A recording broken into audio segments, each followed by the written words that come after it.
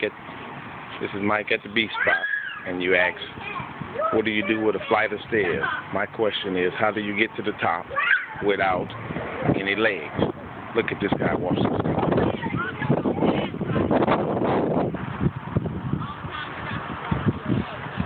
Okay.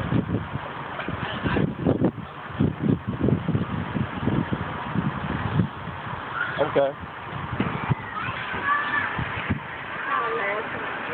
With him? Okay. Because you hadn't told him nothing yet. You hadn't told him nothing yet. Okay. Okay. Yeah, I'm not sure how they changed it up or what they did.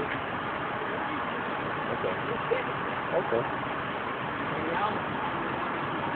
Let's do it. Let's see. Oh, okay. She had left. Okay. Well, that's fine.